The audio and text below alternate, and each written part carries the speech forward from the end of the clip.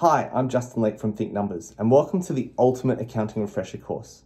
Accounting and financial management skills are some of the most sought after skills in running and sustaining successful business.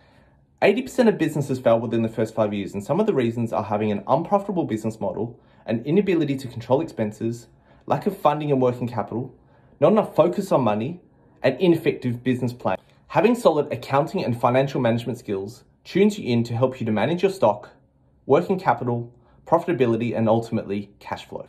In this course, you'll learn about the nuts and bolts of accounting, what accountants do, how they think, and a new lens to think about business. You'll learn how to read and interpret financial statements.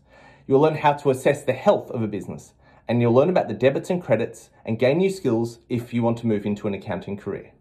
What I do in this course is I take you through the process step by step. It's a perfect refresher if you've previously studied accounting but want to refresh all your knowledge on the accounting concepts and skills.